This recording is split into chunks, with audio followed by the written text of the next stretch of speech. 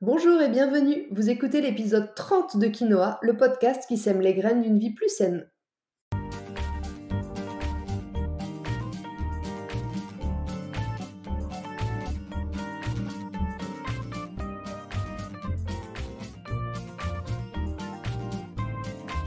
Je suis Julie Coignet, naturopathe et coach santé. Ma mission à travers ce podcast est de vous aider à retrouver ou à garder la santé en adoptant de nouvelles habitudes de vie plus saines et équilibrées.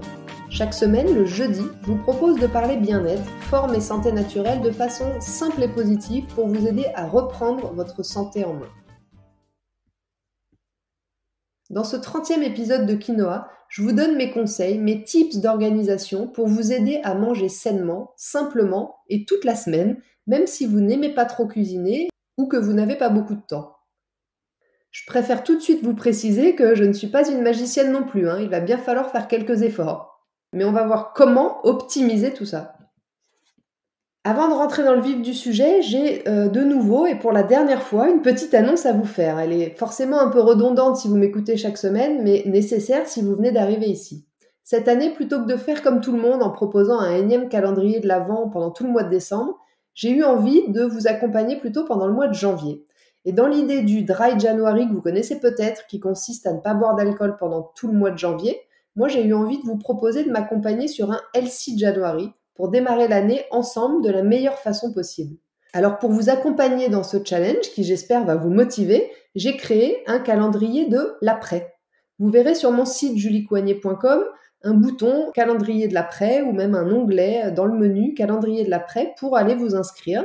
Et à partir du 1er janvier, vous recevrez gratuitement chaque matin du mois dans votre boîte mail une petite graine de Elsie, un conseil, une astuce, une recette, une idée de livre. Bref, de quoi vous accompagner tout le mois de janvier et démarrer 2022 au top de votre forme. Si ça vous dit, rendez-vous dès maintenant sur mon site juliecoignet.com pour vous inscrire. Allez, maintenant installez-vous bien, c'est parti pour l'épisode du jour. Donc dans cet épisode, on va parler d'organisation, de simplicité et d'optimisation du temps. Vous êtes nombreux, mais surtout nombreuses, hein, il faut bien l'avouer, à vous prendre la tête chaque soir, chaque jour, pour répondre à l'éternelle question qu'est-ce qu'on va manger ce soir?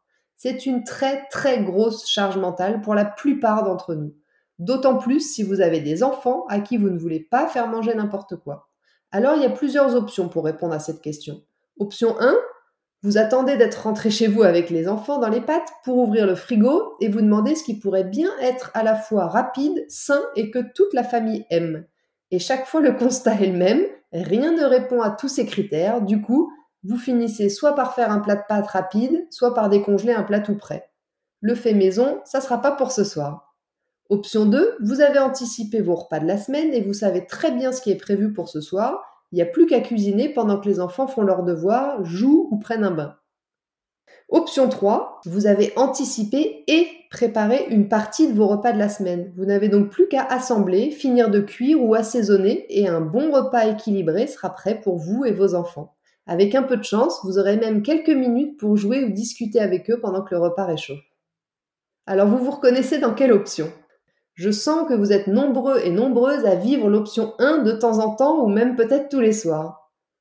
Et le problème de ça, c'est que à la fois vous augmentez votre charge mentale quotidienne avec ce sujet qui revient quand même chaque jour, hein, il, faut bien se le, dire. Ensuite, vous passez des fins de journée dans le speed, l'énervement, au lieu de profiter de votre famille et de commencer à vous détendre. Et troisièmement, bah, vous avez beaucoup de difficultés à manger équilibré et souvent vous gâchez de la nourriture. Alors voici quelques idées pour remédier à tout ça et pour passer à minima de l'option 1 à l'option 2, voire même plus à l'option 3. Vous vous en doutez probablement, pour y parvenir, il suffit d'être organisé. Et c'est dans cette optique que je vais vous accompagner. Oui, parce qu'on veut toutes et tous être plus organisés, mais on n'y arrive pas forcément. On ne sait pas toujours par quel bout prendre le sujet.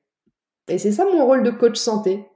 Tout d'abord, il faut accepter que tout ne soit pas parfait. Ça, c'est déjà une première grande, grande étape. Et se souvenir de la phrase de l'abbé Pierre qui conclut chacun de mes podcasts. Il ne faut pas attendre d'être parfait pour commencer quelque chose de bien. Ça veut dire ici que c'est pas parce que vous n'y arriverez pas tous les jours, pas chaque semaine, que parfois un imprévu viendra mettre le bazar dans votre organisation ou juste que vous aurez envie d'autre chose que ce qui est prévu, qu'il va falloir tout balancer.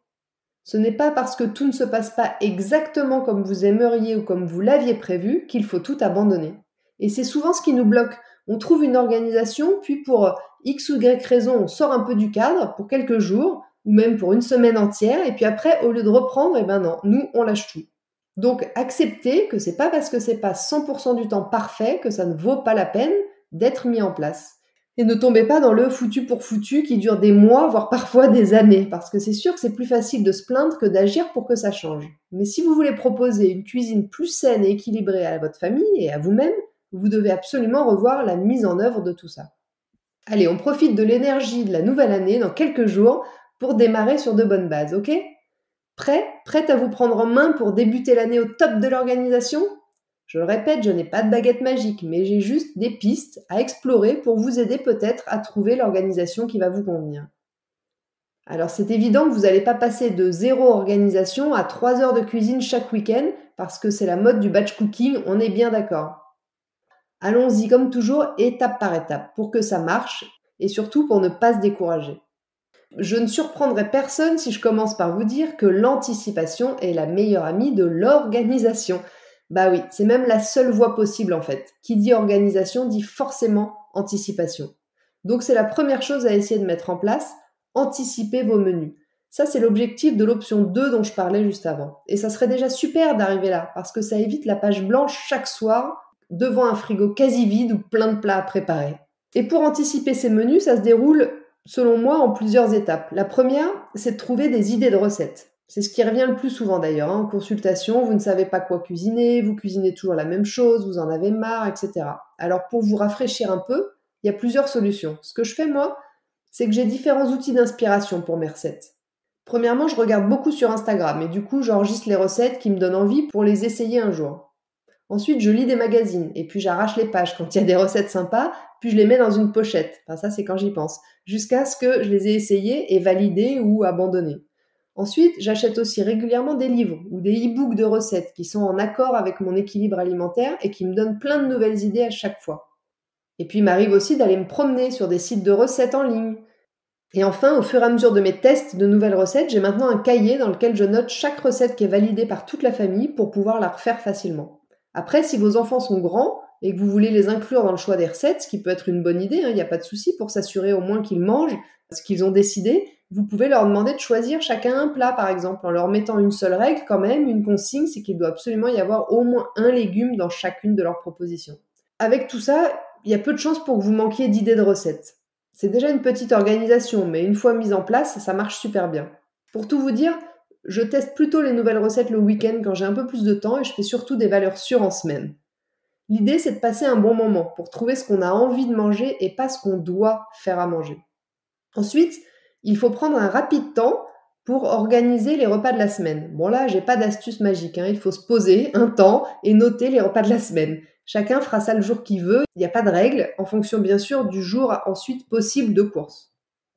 Donc vous noterez sur votre feuille 7 menus qui se résument pour moi à 7 plats principaux uniques et en général je rajoute deux desserts ou, goûters que je passe soit dans les boîtes à goûter, soit pour des petits desserts de temps en temps, un peu plaisir. Mais si vous avez le temps et l'habitude de manger une entrée, un plat et un dessert chaque jour, c'est possible aussi. Hein. Encore une fois, adaptez tous mes conseils à votre situation personnelle. Je sais qu'il y a d'autres personnes d'ailleurs qui organisent leur semaine avec un type de plat par jour, genre une quiche tous les mardis, un gratin le jeudi, etc.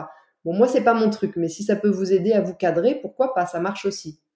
L'avantage d'avoir une vision sur la semaine, c'est que vous allez pouvoir varier et équilibrer vos repas. Vous allez pouvoir peut-être dire, bon, bah, il y a une fois dans la semaine où je vais essayer de mettre du poisson, euh, il y a une fois où on va faire un repas végétarien, etc. Donc maintenant que vous avez votre semaine de menu, il ne vous reste plus qu'à faire la liste des courses associées. Bon, ça c'est laborieux, je vous l'avoue, mais en vrai, ça peut ne pas prendre plus de 20-30 minutes, grand, grand maximum. Disons que tout cumulé, ça devrait vous prendre maximum de chez maximum une heure par semaine pour préparer tout ça. Une heure pour être tranquille dans votre tête tout le reste de la semaine. Ça vaut le coup quand même, non? Et puis même si euh, la sérénité est le plus gros avantage à l'anticipation, il n'y a pas de doute, bah c'est pas le seul. Vous ferez aussi des économies parce que vous allez acheter que ce dont vous avez besoin et ce qui va induire aussi que vous allez moins gâcher. Donc c'est quand même tout bénéf. Maintenant, pour les courses, il y a encore une fois plusieurs options. Chez nous, la plupart du temps, c'est monsieur qui fait les courses le lundi. Voilà, vous saurez tout. Je note tout sur un papier, je lui envoie la photo par SMS, mais ça c'est parce que moi j'aime bien faire des listes sur papier, mais vous pouvez aussi faire ça par mail ou encore utiliser des applis de listes partagées. Et si vous ne pouvez compter que sur vous-même, ça peut aussi être un petit tour au marché le week-end ou encore un drive si c'est le seul moyen pour vous. Encore une fois, faites pour le mieux. Et puis ça ne sera pas non plus forcément toutes les semaines pareil. Il n'y a pas de souci. Ensuite, une fois que vous avez donc vos menus et vos courses, bah, vous avez quand même déjà fait la moitié du job. Hein. Et si vous avez un peu de temps pour cuisiner le soir, votre organisation peut tout simplement s'arrêter là. Vous cuisinerez chaque soir le repas que vous avez prévu et tout devrait très bien se passer comme ça. Chez moi, c'est un peu comme ça que ça se passe d'ailleurs. Je prépare les menus le week-end en général, monsieur fait les courses le lundi et on cuisine l'un ou l'autre un peu chaque soir. On fait des choses simples, assez rapides en semaine et parfois un peu plus élaborées le week-end. Mais j'ai bien conscience que tout le monde n'a pas ce temps ou cette énergie en fin de journée pour cuisiner. Effectivement, trouver le temps pour cuisiner, c'est pas toujours le plus facile. Et encore une fois, je vais peut-être vous décevoir, mais j'ai pas de baguette magique pour pouvoir manger sainement à la maison sans y passer un minimum de temps. Mais rassurez-vous, avec quelques astuces, vous allez y arriver. Voici des pistes pour trouver l'organisation idéale pour vous. Commencez par vous demander quand est-ce que vous auriez le temps et l'envie de cuisiner. Est-ce que c'est le soir après avoir couché les enfants parce que ça vous détend de cuisiner? Est-ce que c'est le samedi matin quand euh, vos enfants ou votre moitié sont à leurs activités? Est-ce que c'est tôt le matin avant que la maison se réveille? Ça, c'est vraiment à vous de voir. Tout est envisageable. Pour vous aider, sachez que je ne parle pas non plus là de 4 heures de temps d'affilée, hein, mais par contre, il faudrait que ce soit un temps quand même plutôt euh, de qualité où vous êtes vraiment dispo, sans personne dans les pattes, si vous voyez ce que je veux dire. Pendant ce temps que vous aurez donc identifié et dédié à votre nouvelle vie saine, vous allez soit batch cooker, comme on dit, c'est-à-dire préparer le même jour tous vos repas de la semaine pour n'avoir qu'à les réchauffer ou les assembler le jour J, soit juste préparer une partie de vos plats pour vous avancer sur les cuissons les plus longues par exemple. Personnellement, c'est ce que je fais. Chaque soir, quand je cuisine le repas du jour, je lance si besoin la cuisson un peu longue d'un aliment pour le lendemain. Comme ça, j'ai toujours un coup d'avance. C'est un entre-deux que je trouve pas mal parce que ça me bloque pas 4 heures en cuisine tous les week-ends, mais ça me permet quand même de gagner un temps fou au quotidien. Autre astuce que j'utilise au moment de l'établissement de mes recettes et qui porte du coup ses fruits ici, c'est de mettre deux fois, par exemple, le même légume dans deux recettes différentes. Comme ça, je cuis qu'une seule fois en grande quantité et je sais que ça va me servir pour deux repas.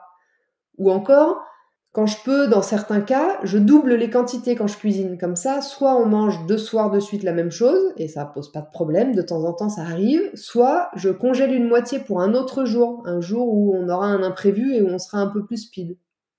Et d'ailleurs, pour ceux qui me disent qu'ils n'ont pas le temps de préparer des légumes parce que c'est plus long que des pâtes, j'aimerais vous proposer de tester différentes choses. Laver et découper les légumes la veille pour le soir suivant. Comme ça, vous n'aurez plus qu'à les cuire en rentrant. Vous gagnez déjà la moitié du temps. Sinon, comme je le disais, faites cuire des légumes à l'avance. Comme ça, vous n'avez plus qu'à les mettre dans une tarte ou un cake en rentrant du travail. Bon voilà, avec tout ça, maintenant, vous avez plein de nouvelles idées pour essayer de mieux vous organiser. Mais il y a une dernière chose sur laquelle j'aimerais revenir, il y aura aussi des jours où tout ne se passera pas comme prévu, parce que c'est aussi ça la vie. Donc on se détend, on lâche prise et on arrête de vouloir absolument être parfait. Et dans ces moments-là, pour éviter de vous retourner vers des plats industriels ou de la junk food livrée à domicile, voilà ce que vous pouvez faire. Déjà, autorisez-vous de ne pas toujours tout préparer maison. Vous pouvez par exemple acheter des légumes surgelés pour gagner du temps sur le lavage, l'épluchage et le découpage. Ayez aussi des conserves de base comme les tomates concassées, des pois chiches cuits, en vérifiant quand même toujours la composition. Hein. Et puis, ayez toujours du sain, rapide à sortir. Je pense par exemple aux petits poissons gras comme les sardines, les maquereaux, les harengs, si vous en mangez. En conserve, ils sont juste conservés dans de l'huile, donc ça reste des produits non transformés. Et il y aussi toujours des galettes de sarrasin, congelées ou en frais, dans lesquelles vous pourrez mettre des restes de légumes avec un œuf par exemple, et puis ça vous fera un repas équilibré, hyper rapide à faire.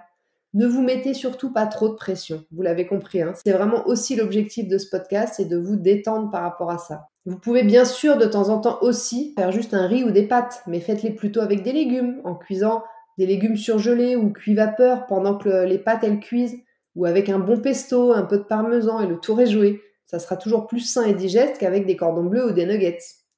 Et enfin, rappelez-vous ma règle des 80-20. Optez pour une alimentation saine qui vous fait du bien 80% du temps et faites-vous plaisir sans culpabiliser les autres 20% du temps. Parce que l'équilibre se fait sur la semaine. Voilà, sur ce, l'épisode 30 de Quinoa touche à sa fin. Je vous remercie de m'avoir écouté jusqu'ici. J'espère qu'il vous a plu, qu'il vous aidera à trouver l'organisation qui vous convient pour manger plus sain et équilibré au quotidien. Si vous pensez que cet épisode peut intéresser vos amis, pensez à leur transférer ou à le partager sur vos réseaux sociaux. Et si vous n'avez pas pu prendre de notes, ne vous inquiétez pas, vous retrouverez tout le contenu de ce podcast retranscrit par écrit dans l'article de blog dédié à l'épisode sur mon site juliecoignet.com. Je vous invite également à vous abonner à ma newsletter si ce n'est pas encore fait pour ne rater aucun épisode du podcast, mais aussi pour suivre mon actualité et profiter des conseils exclusifs chaque semaine directement dans votre boîte mail. La semaine prochaine, dans l'épisode 31 de Quinoa, on va parler du jeûne. Vénéré par certains, hyper dangereux pour d'autres, qu'en est-il vraiment de cette pratique ancestrale si chère à la naturopathie? Je vous explique tout ça dans ce prochain épisode. En attendant, si vous voulez me faire un petit coucou ou échanger, j'en serais ravie et je vous invite à me rejoindre sur Instagram, juliecoignet-du8 naturopathe.